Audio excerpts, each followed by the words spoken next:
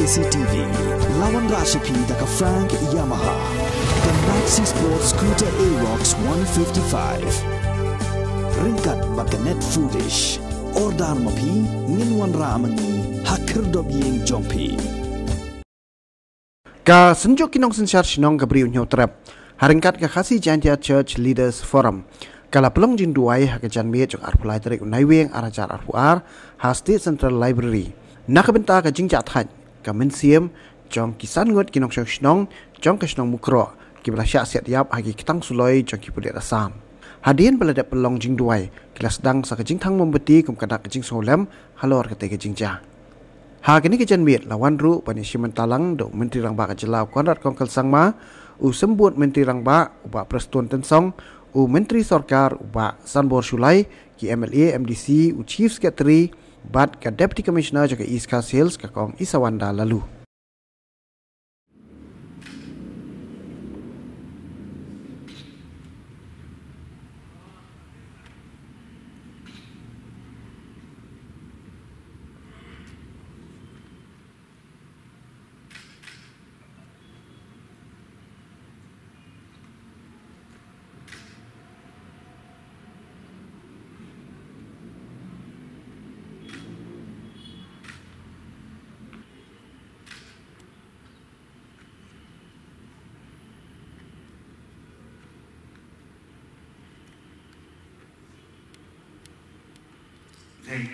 As members of the civil society, together with our Honorable Chief Minister and his cabinet colleagues, to bring to you, O Lord, all the sad and unexpected incident that we as the citizens of the states we have experienced yesterday. Yes, Father, we know that you are the Lord of the creation. You are the master of the universe. And all lands belong to you. All the creation belongs to you, Lord. And yes, Father, especially, you have made us in your image that we can live, work, and work according to your protection and your guidance. But sometimes, Father, we have to meet with all the challenges of this life unexpectedly, unknowingly, which affects the very lives of every citizens of this state. This is the time that we uphold the whole village of Mukro and especially the families of those who have lost their dear ones. This is the time, the occasion we have come together to pray to the Almighty God, to comfort and to strengthen those who are in grief and in sorrow. We all know that death is one thing that no one can escape. It comes to each one in one form or the other. And yet, when death comes,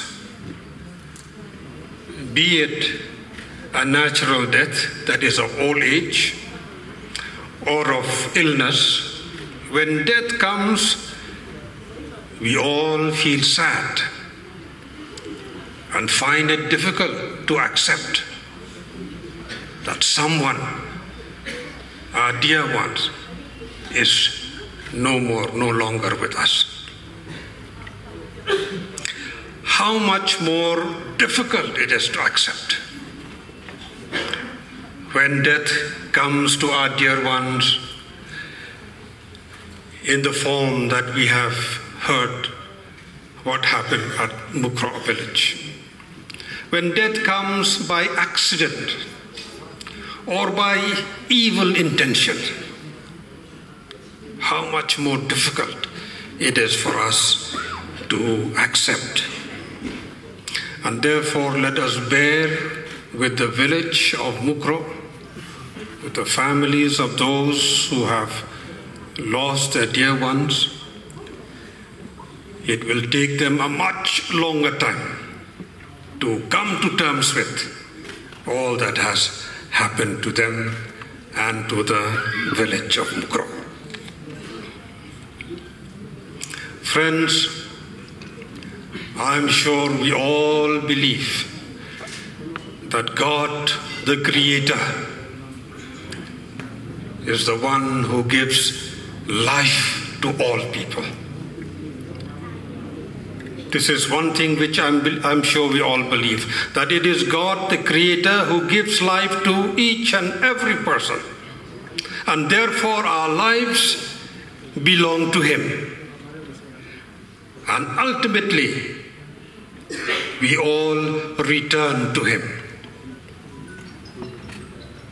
Science and technology has advanced to such an unimaginable extent in the world today.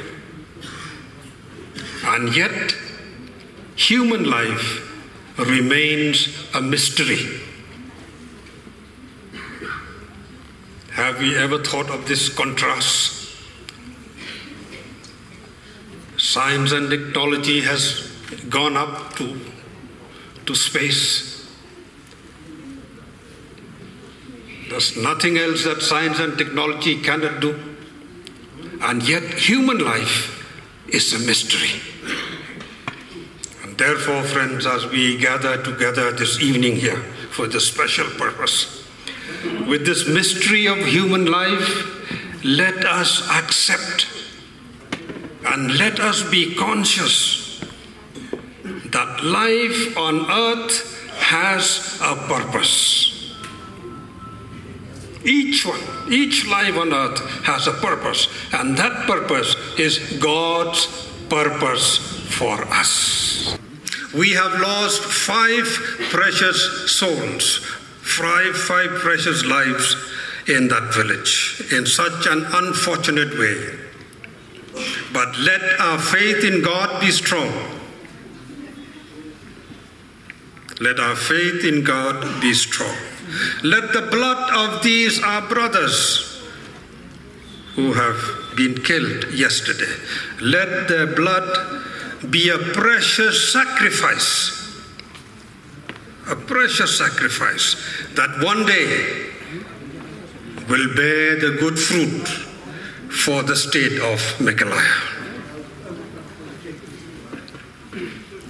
It is a very sad, shocking incident, but let us console ourselves with this and the, let us console ourselves. Let the whole village console itself and the family members console themselves with this thought, with this thought that their lives be a precious sacrifice for the state of Meghalaya. But let us join hands, join hands together to heal the wounds and the broken hearts of our brothers and sisters. I appeal to all NGOs, to all civil societies which continue to work, which continue to enlighten, which continue to work for the welfare of all communities, to extend all possible help at this time of crisis of our state.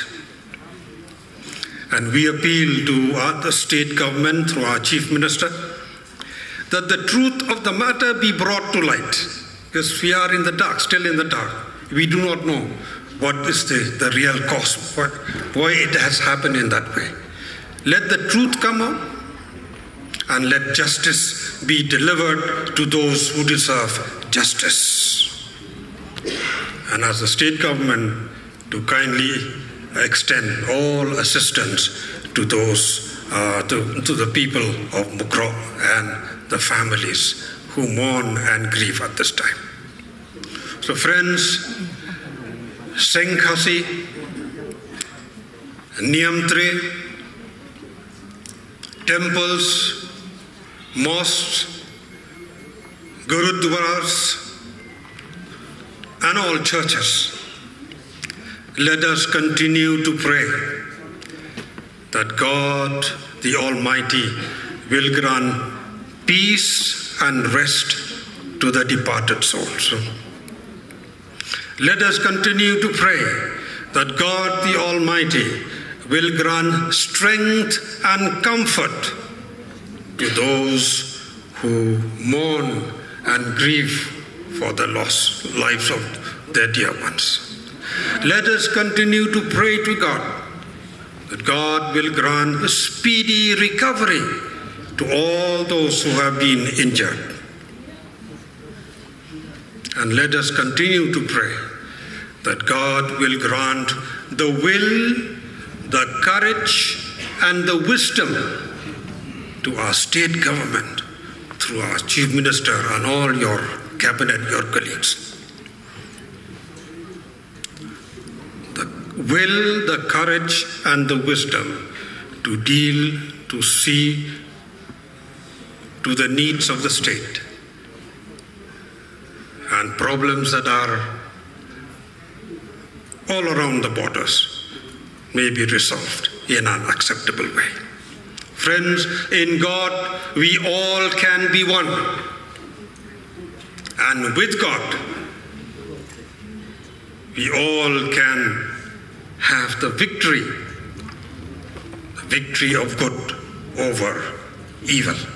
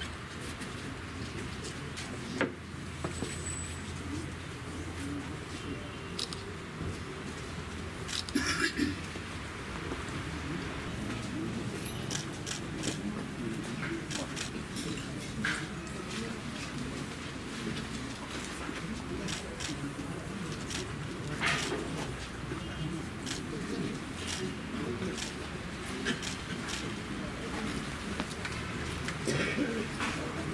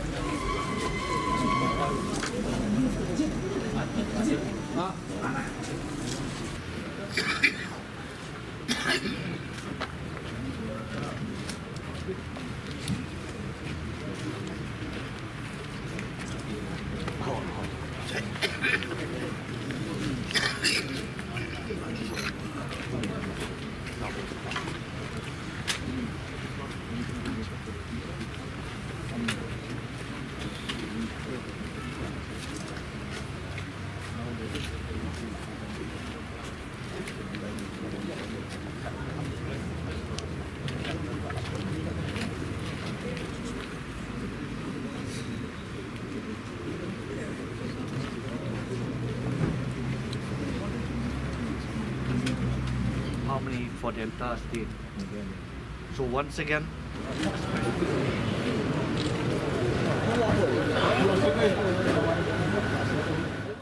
Uh, our visit was basically to meet the families of the uh, individuals, I mean, the family members of uh, the departed souls, the people who lost their lives, and uh, to express our condolence and uh, be with them in the time of grief. And uh, this has been a very unfortunate and a very tragic uh, incident. And during this tough time, uh, for those family members and for the entire village. As a government, we wanted to show our solidarity to them, and that is why we went there. And today in the evening, we are here to be part of this uh, prayer uh, program that we're having, which was organized by the Synjuk Ki Rangbah Shnong and uh, the uh, religious leaders from different religious groups. And uh, I would like to thank them for having organized this and having invited us. And a very strong message uh, of unity has gone through this prayer meeting, and the fact that uh, we as a state are together, and uh, in these difficult times that those families are facing, and the entire village is facing, the message from here, from this prayer meeting, is that our prayers are with them, we are with them, and we express our complete solidarity with them. So this was the pro- uh, program we had in the morning and in the evening today. When an incident like this happens, when a tragic incident like this happens, uh, emotions do run high. And uh, we understand that uh, these are very difficult moments for everybody. And there's a lot of uh, difficulty and a lot of anger also and emotion there. And uh, there could be certain stray incidents which could happen but uh, let me assure everybody that uh, from the government side, we have taken all measures possible to ensure that we are able to maintain law and order uh, in the state. We have asked all different uh, leaders from different groups, traditional heads, localities, religious heads to come together so that we are able to maintain peace and harmony in the state. And I would like to use this particular forum through the media also to appeal to our citizens that yes, these emotions are running high, uh, but uh, violence and uh, other ways uh, are not the ways to resolve this problem. Uh, we have to find the right way to move forward. We need justice. We will do our best from the government side and will ensure that swift action is taken in all these aspects. And tomorrow we'll be meeting the Home Minister along with my other colleagues and we'll be taking up very important concerns and issues regarding this particular.